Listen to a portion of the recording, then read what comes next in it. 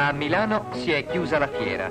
Naturalmente non ci sono andati soltanto i milanesi, sono giunti da ogni parte d'Europa i visitatori per ammirare i prodotti esposti in questa colossale e ricca vetrina del progresso. Uno dei padiglioni più interessanti era quello riservato all'agricoltura. Molte le macchine per l'industrializzazione delle nostre aziende agricole. Quanto di meglio la tecnica può offrire oggi in questo campo. Il ministro Bo visita il padiglione dell'ENI nel quale si sono già soffermati il Presidente della Repubblica e il Presidente del Consiglio. Quest'anno lo stand era dedicato allo stabilimento dell'Anica a Gela. Ecco dei reperti archeologici provenienti dall'antiquarium della città.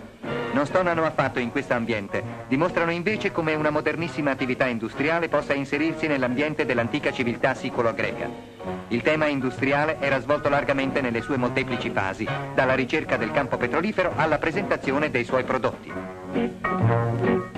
Gli uffici dell'avvenire. La conferenza stampa del Cavaliere del Lavoro Bruno Quintavalle è seguita con attenzione da tecnici e giornalisti. Per la prima volta è stata presentata al pubblico la televisione a circuito chiuso a colori. E l'impiegato che passa il tempo risolvendo parole crociate si chiede, ma di questo passo, dove andremo a finire?